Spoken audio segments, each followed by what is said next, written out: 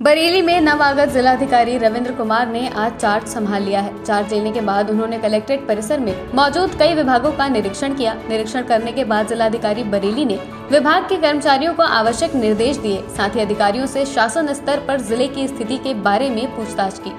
इस दौरान मीडिया से मुखातिब होते हुए उन्होंने कहा कि ज़िले की कानून व्यवस्था को चुस्त दुरुस्त रखने पर उनका फोकस रहेगा और कोशिश रहेगी कि जनमानस की शिकायतों को प्राथमिकता से निपटाया जाए। जिलाधिकारी होने के नाते जो सरकार की प्राथमिकता है, वही जिला प्रशासन की प्राथमिकता रहेगी।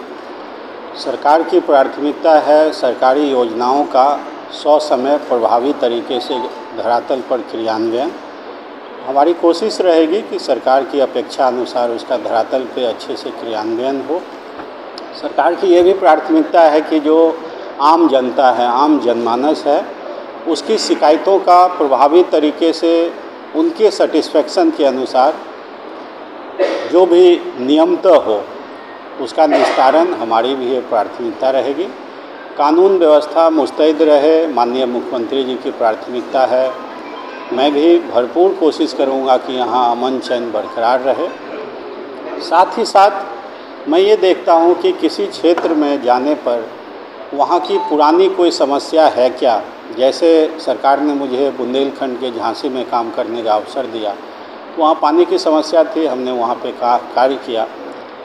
या मैं ये देखता हूँ कि वहाँ पे कोई ऐसे रिसोर्सेज हैं जिसका कि बेहतर तरीके से यूज़ कर वहाँ विकास किया जा सके। जिससे वहाँ के लोगों का जीवन स्तर अच्छा हो। लास्ट ज़िले में ज़मीन सस्ती थी, वहाँ पे रानीपुर हैंडलूम था तो उस पर कार्य किया गया। यहाँ भी मैं एक्सप्लोर करूँगा कि कुछ ऐसी चीज़ें अगर मिलती हैं, उस पर कार्य करूँगा ताकि यहाँ के जनमानस का जीवन स्तर ऊँचा हो, विकास की रफ्तार तेज हो और जो सरकार की मंशा है वो पूरी हो। हमारा पूरा फोकस, जो सरकार का फोकस है, वही हमारा फोकस है। हमारी अपनी कोई व्यक्तिगत कोई हमारा यहाँ लक्ष्य नहीं है। जो भी लक्ष्य है वो सरकार के लक्ष्य से जुड़ा हुआ है। यहाँ की जो आम जनता है उसके लक्ष्य से जुड़ा हुआ है। डेली इंसाइडर के लिए बरेली से अशोक गुप्ता की रिपोर्ट। यूपी और देश दुनिया की तमाम ताज़ा तरीन खबरों के लिए गूगल प्ले स्टोर से आज ही डाउनलोड करें हमारा तेज़ी से उभरता न्यूज़ ऐप डेली इंसाइडर